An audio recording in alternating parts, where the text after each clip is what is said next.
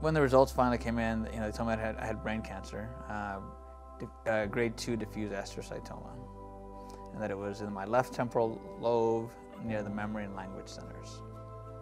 I, I was crying and I just told him, you know, they found a brain tumor or a lesion, I guess that was, that's what we called it in the beginning, but, and pretty much everyone kind of freaked out. So I am four and a half years in from my journey with brain cancer. Every day when you wake up, it's, I have a brain tumor, I'm dealing with a brain tumor.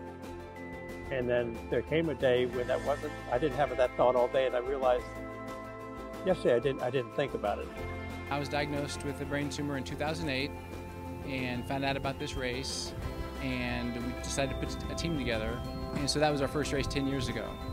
And I had no idea that this kind of community was available for people with brain cancer. So it's been really inspiring to be a part of.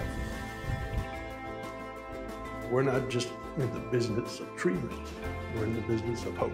That hope is uh, offered through you know, delivering the best possible care. And it's also offered through uh, research and the promise that um, that research can make a difference. People are very inspiring. They continue to be inspiring.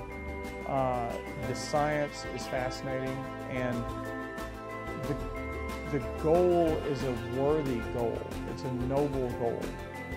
So we're going to solve the problem of glioblastoma, and it's more than one problem. It's a whole bunch of different diseases.